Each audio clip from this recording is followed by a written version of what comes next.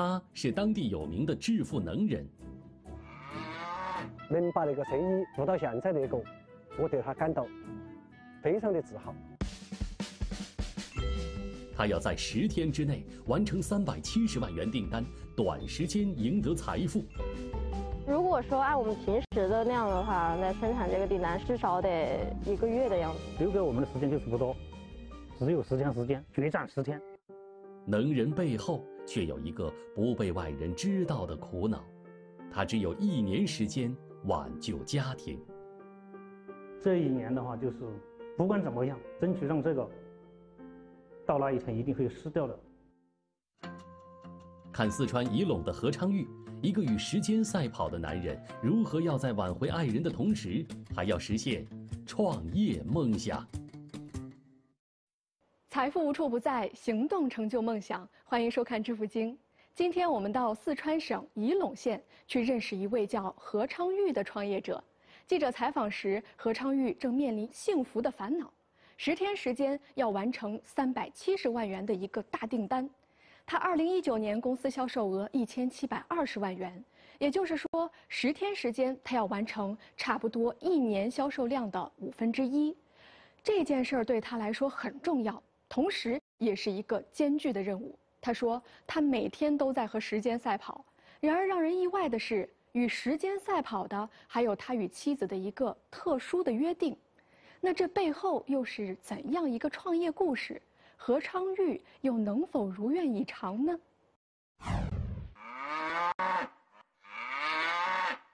把那个公牛赶起走算了。你看它还好动。这一天，何昌玉要选牛。奇怪的是，他先把手伸进了牛的嘴巴里。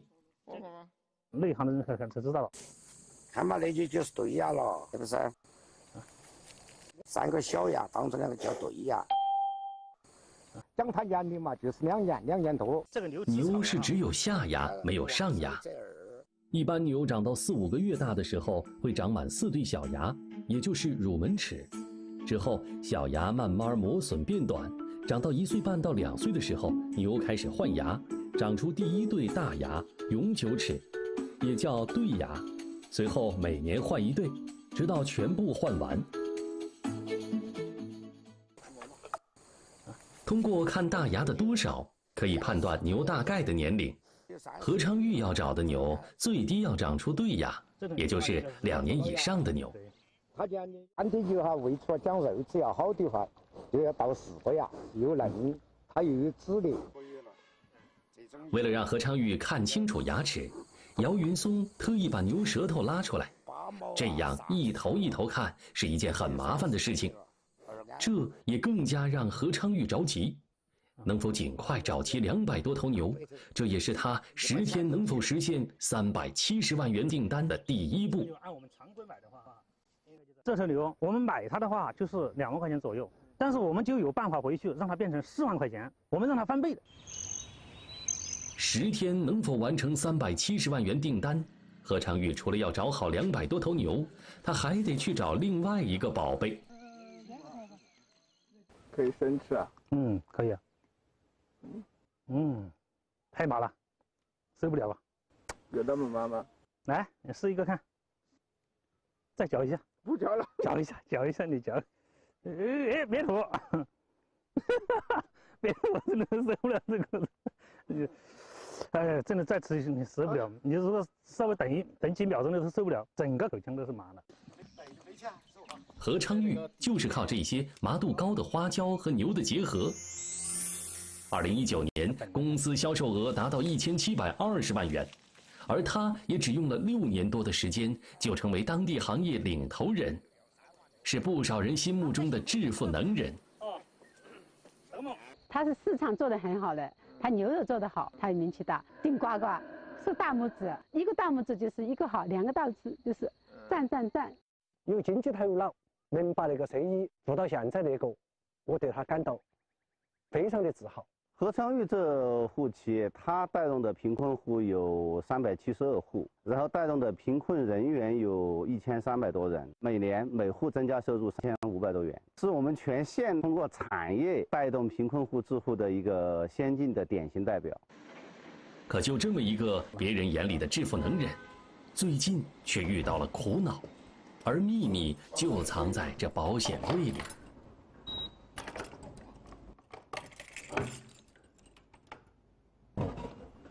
就在这里，一直都放这里的，没有外人知道。当时时候写了一个协议书。这份协议是何昌玉的妻子在今年四月份和他签订的。协议的内容就是看何昌玉在接下来的一年里能不能有所改变，工作好的同时多照顾一下家庭。如果他做不到，那就离婚。那么，他们夫妻之间为什么会有这么一份协议？而眼下何昌玉要做的十天完成三百七十万元订单，又和这份协议有着怎样的关系呢？每天都在跟时间赛跑，都没有没办法呀。这一年的话，就是不管怎么样，争取让这个到那一天一定会失掉的。让家人过上好日子是何昌玉多年打拼的动力。他创业前曾经是国企正式员工，然而一九九九年。他下岗了。当时这样想的：你是一条龙的话，你就给我飞起来；啊，你是条虫的话，你就趴在地上。我也不说我是一条龙，但是我想，我一定想飞，我一定要挣点钱回来。下岗之后，何长玉来到了深圳，从摆地摊卖打火机开始，后来开始卖米粉，慢慢发展成连锁店。他通过十多年的努力。赚得了两百多万元的财富，可让他高兴不起来的是，离家太远。那时何长玉和四个哥哥都常年在外工作，父母都七十多岁了，两个老人在家带着四五个孙子。有一天，何长玉给父母打了一个电话，让他奇怪的是，打了五六次都没有人接电话。他第一反应就是家里出事了。不当我带几个孙子，我哭得很呀，我都生气，我都不去接他电话。父母亲他是有时间的，陪伴你他是等不起你。父母亲的年龄他一天比一天大，哪里等得起你？你如果留下遗憾的话，那就是终身的遗憾。何昌玉想回家多一点时间陪伴父母。二零一四年，他把深圳的米粉店转让了，带着两百多万元回到了家里。虽说有更多的时间陪父母了，但一天到晚没什么事儿干也不行，得找点事情做做。心想，反正就是说找一份比较稳定的工作嘛，一个月收入也还可以，比上不足，比下有余的日子。你再去上班，又回到最早的起点，那也不稳定了。哪一天说没就没了，铁饭碗是自己给的，没有人给你的。然而，让何昌玉没想到的是，为了家人，他回到家里。后来，他所做的事情会让自己的家庭陷入到破碎的边缘。当地聚集了不少客家人，这里有养牛、吃牛肉的习惯，每年能出栏八万多头牛。可是，让何昌玉奇怪的是，当时县里并没有牛肉加工企业。养的牛大多是通过经纪人把牛拉到隔壁县去卖，因为那里的牛肉产业做得红红火火，本地人辛辛苦苦养出来的牛，赚大钱的却是隔壁县的人，这让何昌玉有点心动了。他想把隔壁县的牛肉加工产业在老家仪陇县进行复制。同样的条件，人家能够做好，我为什么不能够做好？在仪陇有养牛、吃牛肉这个习惯。在加工这一块儿是一片空白，对于我来说呢，是一个机会。二零一五年，何长玉找到了一个要好的朋友，俩人凑齐三百多万元，合伙做牛肉加工。可那时，在他们当地，隔壁县生产的牛肉名气比较大，卖得很好。不少人认为，何长玉他们作为一个后入局的人，机会已是不大了。做这个生意，牛肉生意是噻，当地也很少。有好多投资太大，他有些做做做亏了就不做了。他不知道他是身上有有这种牛劲儿，只要认准了这个东西，他就会一直坚持下去。我们这个地方就叫牛劲儿。何昌玉才不管那些，看准了就开始做了。然而刚开始做出来的牛肉，不论是在品质还是在口感上都不稳定，两吨多牛肉只能处理掉，一次就亏掉了三十多万元。然而，让何昌玉万万没有想到的是，这亏损还只是刚刚开始。对我们来说，全部的身家都投入到里边去了，然后你再损失三十多万的话，那就好像要了身家性命一样的，那感觉那那那很很难受。大概也就半年时间吧，他头发就慢慢的白了很多了，我们的朋友都笑话他了，都觉得你不值嘛，劝他早一点停出来，少赔一点。二零一五年亏损六十七万元，二零一六年亏损一百一十万元，到二零一七年总共亏损已经达到三百多万元了。到后来，何昌玉都没钱买牛肉了，加工厂只能停工，这一停就是大半年。而就在这个时候，何昌玉的合伙人首先扛不住了，提出要撤资退出。老婆给的底线就是你不能一个人做。我知道那是很大的一个窟窿，就是个无底洞。如果说他们不愿意做了，就清算嘛。这个底线一直在我心中。然后我想，这个事情也不能半途而废。如果他不做，那我不做，那这个事情不意味着我们所投资的所有的都没有了，那我们真一无所有，没有退路。让人不解的是，何昌玉不仅同意合伙人退出，还承担了三百多万元债务。更让人受不了的是，为了能把加工厂重新开起来。何昌玉把家里唯一一套住房抵押出去，贷款了二十五万元，他要靠这二十五万元重新开始，而这件事情也给他们夫妻关系蒙上了阴影。住房对于我们来说，就是最后的底线。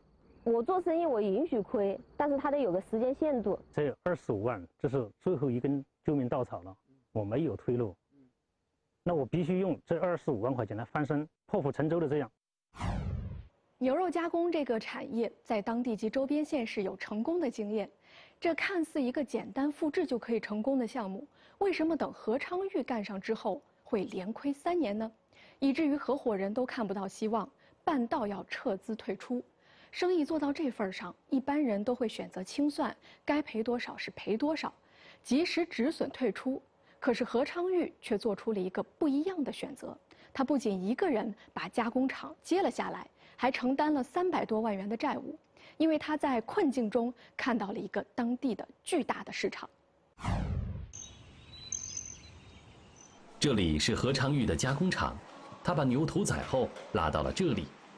牛肉加工看起来简单，但真正做起来对技术要求很高。加工牛肉有分割、腌制、煮熟、晾干和包装等二十九道制作工序，任何一个环节出了问题，都有可能前功尽弃。到二零一七年，何昌玉连续亏损了三年，其主要原因就是技术和销售问题。何昌玉觉得，只要把这两个问题解决了，就一定能找到出路，摆脱困境，因为他相信当地有巨大的市场。困难都可以突破的。我们仪陇一百多万人的话，如果我在仪陇这个地方占百分之三十、百分之二十这个量，那就不得了，也是几千万了。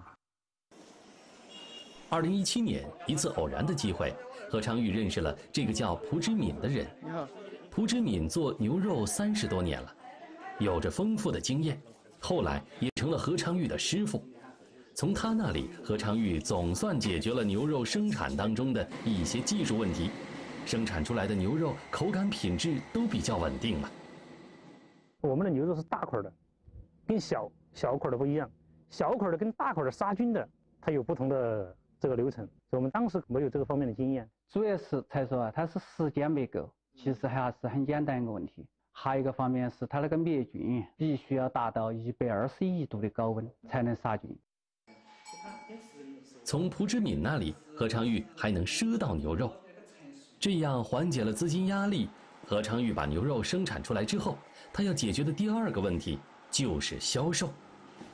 以前何昌玉的策略就是牛肉生产出来后做品牌走超市，再延伸到省外。可是那时超市里有不少品牌牛肉，他生产的牛肉没有名气，也没钱去推广，生产出来的牛肉很难卖出去。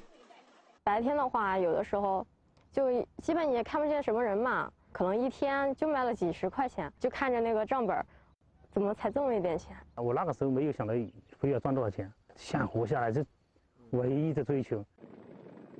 那时何昌玉每天都在外面跑市场，白天出去，晚上很晚才回来。二零一七年的一个晚上，天下着大雨，何昌玉开着车往家里赶。那天他实在太困了，突然一个恍惚，车来到了悬崖边。一个急刹，好歹刹住了，把我吓一跳。啊，看一看，外面怎么是悬崖了？如果再往前面走一点点的话，这命就没有了。何昌玉把车停在一个安全的地方，他一个人待在荒郊野岭，车外下着大雨，饥寒交迫。那天，他哭了，他也不知道过了多久，迷迷糊糊的睡着了。好像感觉到上天无路如地无门一样的，在车上睡了一个晚上，也不知道怎么睡。第二天起来，你路还得走，那一定要把牛肉卖出去。那时何昌玉每天都睡不着，一天到晚就琢磨怎么样才能把牛肉卖出去。有一天，他在村里有了一个发现，而也就是这个发现。让他找到了一条不要花钱去推广，也能迅速打开市场的方法。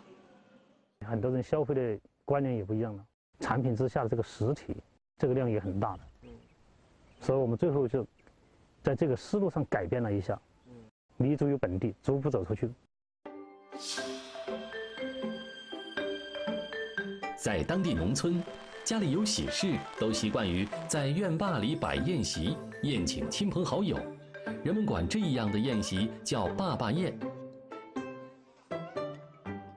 吃坝坝宴必吃九斗碗，九表示海量，说的就是宴席上的九大菜式。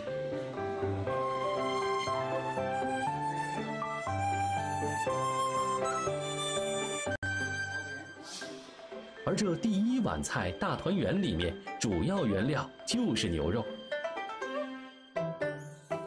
万马白必须要有牛肉，没有的话，客人就觉得这个这个席啊菜不硬。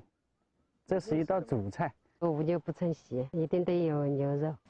何昌玉想着，既然城市打不开局面，那就回到农村去寻找机会。那时他不放过任何机会，哪怕是有人只要半斤牛肉，他也送。何昌玉相信市场是跑出来的，通过半年多的努力，事情总算有了转机。何长玉在不断的推销中认识了这个叫张胜的人。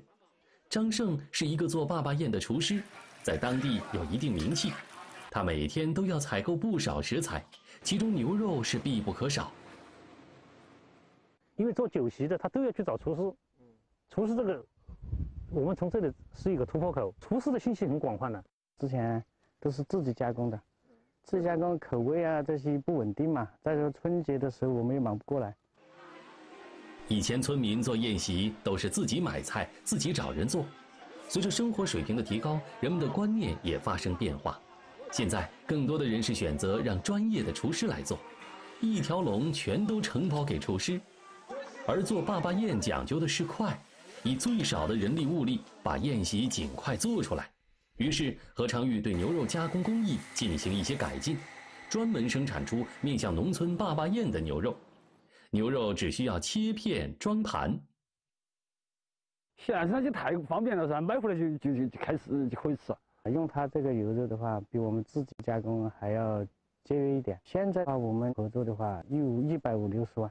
因为我的牛肉呢，我品质也做的可以，然后我价格也便宜，然后我还生活给他也方便，他为什么不选择我的呢？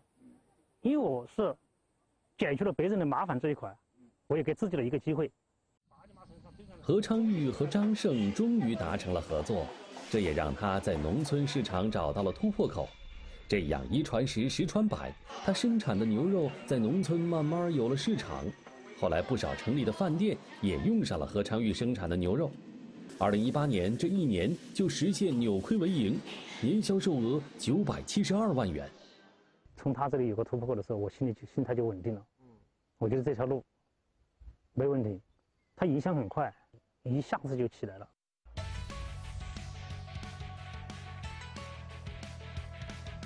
何昌玉在仪陇县站稳脚后，还开拓了外省市场。可是有一个问题一直困扰着他：如果他的牛肉产业想要做得更大，必须解决这个问题。花椒是一种很常见的调味品，在川菜里用的比较多。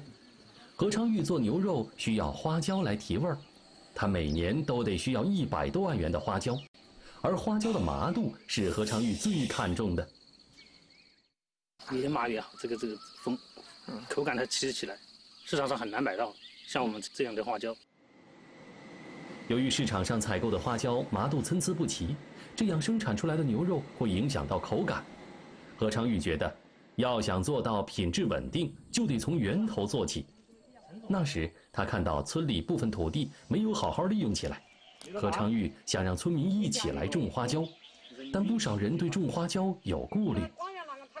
我先种，我种好了有效益的时候，他自己来管理，我就省去我管理的成本，花椒我又回收回来，排除了卖不出去的顾虑。二零一八年，何昌玉示范种了两百多亩花椒，还成立合作社，带动当地不少年轻人回家从事养牛、花椒种植等相关产业。何昌玉通过发展产业，助力了脱贫攻坚。二零一九年，公司年销售额一千七百二十万元。我们都是给他进行订单式生产的，对我们的销售呃有很大的帮助，至少我们能够保底消费，能够。卖得出去嘛？我们是，呃，把牛养好，就就交给他，他就屠宰，他去做好牛肉，面向市场。何昌玉的事业逐渐有了起色，可陪家人的时间却越来越少。今年四月，他的妻子还和他签订了一份协议，约定在接下来的一年的时间里，看何昌玉能不能有所改变，否则就离婚。何昌玉要尽快完成公司今年的目标任务。那样，他才能抽出更多的时间去陪伴家人。而眼下他要做的，就是十天完成三百七十万元订单，这对于他来说是一个艰巨的任务。当时算了一下，我说，这个订单量按我们日常的生产来讲的话，太大了。如果说按我们平时的那样的话，那生产这个订单至少得一个月的样子。我总交不交不出来呀，他就不要睡觉了，加班做了，我要先装啊。因为他们也是掐着时间来的，留给我们的时间就是不多，只有十天时间，决战十天，必须完成的。何昌玉没日没夜的赶货，通过十天的努力，总算赶在交货的最后时间完成了三百七十万元的订单，也让他松了一口气。今天就是最后一天，我们刚好这一车货发走，就是刚好全部完成任务，很不容易，但是很开心，虽然累，快乐着。何昌玉十天完成了三百七十万元订单，这也为他在接下来的一年里打下了坚实的基础。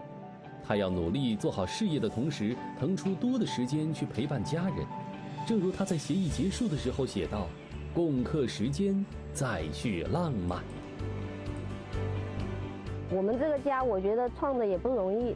白手起家，肯定不想散掉了。我希望他能稍微抽一点时间出来，多陪陪小孩。实际上是谁都不愿意走这个路，但是我想是经过我的努力，能不能够换取他的这个心态的平衡，然后最终的，我们还是和好从良。